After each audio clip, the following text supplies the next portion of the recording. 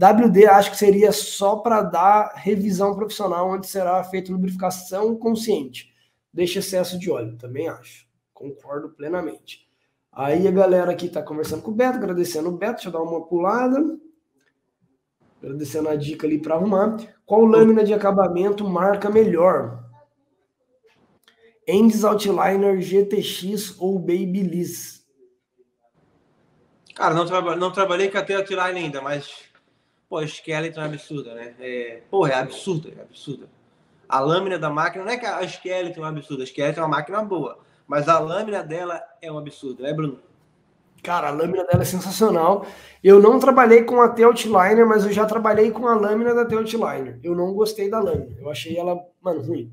Ela é muito boa para fazer linha, para fazer marcação, para limpar, só que ela não faz assim nada além do que a Skeleton já faz.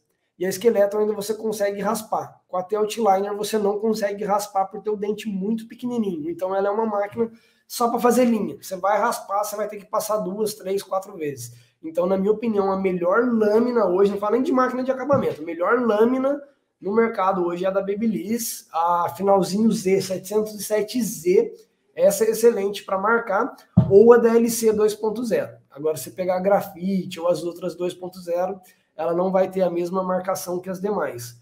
Ô Reis, e essa tesoura aí que está na mão, os caras tá curioso já. Cara, o que eu ia falar, isso a gente tá falando sobre a fiação, isso aqui é bem interessante.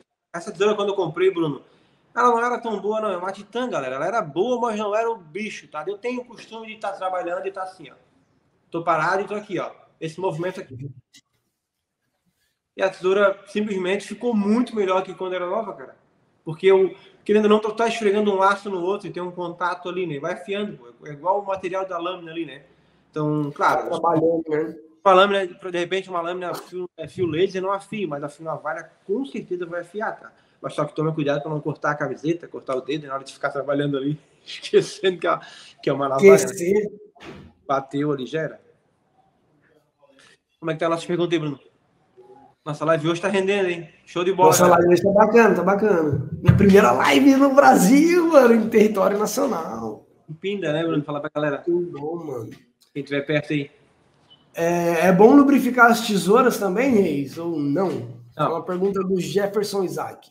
Não, porque empurra muito o cabelo, né? Ela tira aquele. Pelo menos no meu caso aqui, né? Quando eu, quando eu lubrifiquei, ela empurrava mais do que cortava. Eu não gostei. E tu, Bruno? Então, na real, assim, é... pode estar tá, lubrificar, perdoa, mas perdoa. não é uma coisa que você vai fazer igual tesouro, igual máquina, você vai lubrificar sempre. Mas o parafusinho dela ali, quando ela tiver muito dura, ou ela estiver fazendo um barulhinho, sim, você pode dar uma lubrificada, você pode até desmontar ela, dar uma limpada e lubrificar. Mas a lâmina você jamais lubrifica, mano. Você vai perder o corte. É só no parafuso dela ali e é uma gotinha de óleo. Às vezes a galera coloca muito óleo em excesso até na máquina, achando que é a quantidade que vai fazer. Não é a quantidade. O Wii tá sem áudio, mano. Quem que tá sem áudio? Tá todo mundo com áudio, mano. Você só que falou que a gente está sem áudio, hein? Eu acho que só você que não está ouvindo a gente aí.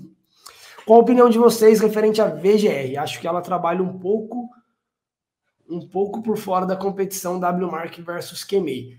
Cara, eu acho que a, w, a VGR realmente ela segue uma linha ali um pouco diferente das demais.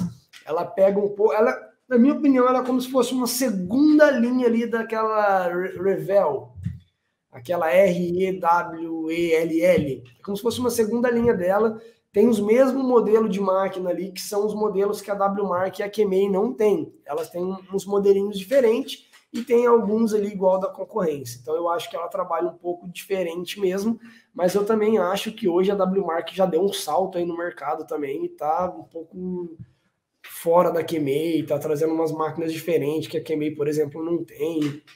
Então, eu acho que hoje eles estão distinguindo um pouco mais. Claro, tem algumas máquinas que todas as marcas têm, mas no geral não é todas, não.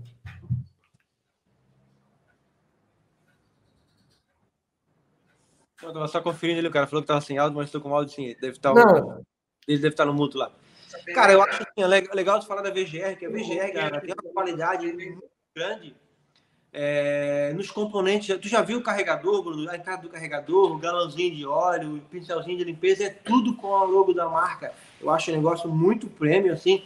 Cara, e eu, aquela VGR 682 que passou aqui no canal, galera, eu nunca vi um troço assim, pelo aquele preço tão prêmio, tá? A máquina é de extrema qualidade e aqui o Bruno falou, a Revel, né, Bruno? Revel, Revel, Revel ali. É, Revel, Revel, Revel, Revel. É uma máquina da China, né? É uma das máquinas mais, uma das marcas mais vendidas na China, para vocês terem noção. É uma, máquina, uma marca bem conceituada lá no, no segmento deles. Mano, eu acho também. Acho que é uma máquina topzera. Comprei essa tesoura em sua indicação no ali. Ela corta muito desde o início. Eu acho que essa tesoura que estava segurando. Cara, tesoura muito boa mesmo. Agora, minha... voltando aqui para nossos assuntos de máquina. O Dré Barbeiro perguntou: Gama Ergo ou Monster Clipper? É tu, Bruno. Eu não trabalho com a moto ainda. Manda. Cara, eu vou, vou falar real. Entre a Gama Ergo e a Monster Clipper, eu gostei mais da Monster Clipper. Eu achei que ela tinha uma pegada ali um pouco mais confortável, com, não sei, algo nela me agradou mais, talvez a lâmina. Mas eu peguei recentemente agora lá na, na Zohan Barbers a Kiep número 1. E, mano, eu não sei, cara, eu tô gostando mais da Kiep número 1 agora. Eu achei a Kiep melhor. Então, na minha opinião, é, eu acho que vai um pouco ali da pegada da mão e da lâmina. Eu gostei muito da lâmina original da, da Kiep, porque normalmente as máquinas de motor magnético têm a lâmina bem fininha, assim, limpa muito bem. Mas essa eu achei que limpa muito mais. Tanto que eu fiz a live, eu tinha acabado de pegar, até brinquei com o Beto. Falei, cara, nossa, tinha bom, né, mano? Acabei de pegar a máquina, nunca cortei com a máquina e tô aqui, ó. E saiu um trampo legal lá. Demorei um pouquinho, a gente ficou trocando uma ideia lá, uma resenha, mas foi legal. E eu achei a Kiep melhor do que a Monster Clipper, assim, no primeiro impacto. Claro que a Monster Clipper ela vai entregar algumas coisas a mais, vai ter um componente ali, alguma coisa. Se eu não me engano, a Kiep vem somente a máquina, base de carregamento, não vem tampas, né? Mas pelo custo dela vale muito a pena. Eu achei a lâmina inferior dela muito melhor. E a pegada ali na onde a gente encaixa o polegar, eu achei sensacional. Acho que ela tem um lugar ali ideal, que é onde está o número 1, um, você encaixa o polegar ali, ficou muito bacana, cara. Eu gostei. E eu tô também com a MRD, que é o mesmo projeto da Ergo, da Monster Clipper, da que é número 1. Vou fazer o vídeo com ela também e depois eu vou quero gravar um comparativo com todas essas máquinas Ergos pra gente ver qual que é a diferença. Mas, cara, na minha opinião, a única coisa que muda ali tá é a lâmina. Vai ser a lâmina com a marca de cada uma e a carcaça que é a pegada, né? Tipo, é, é idêntico, mas cada uma tem uma coisa diferente ali. Uma é o encaixe do dedo aqui em cima, outra é uma parte mais arredondada, mas no geral é a mesma coisa. Na minha opinião, essa Kiep número 1 um tá show de bola.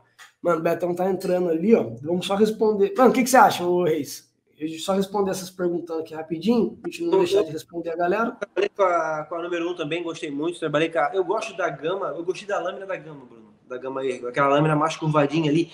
Porque as outras lâminas eu fico com medo de entrar no poro. Às vezes não entra, galera, mas é tão fina que tu fica com medo de entrar. E a da gama não tem isso, tá? Isso é legal a gente tá falando, porque a da gama é um pouquinho mais grossinha nos dentinhos ali e ela não entrou no poro, não, tá? Até a minha JRL entra um pouquinho, a galera tava reclamando, até tinha comentado ali, mas é, a gama realmente não entrou. A Kiep também não entrou, não, por incrível que pareça, mas parece que vai entrar. Porque ela é não entrou, não, não, mas é bem fininha.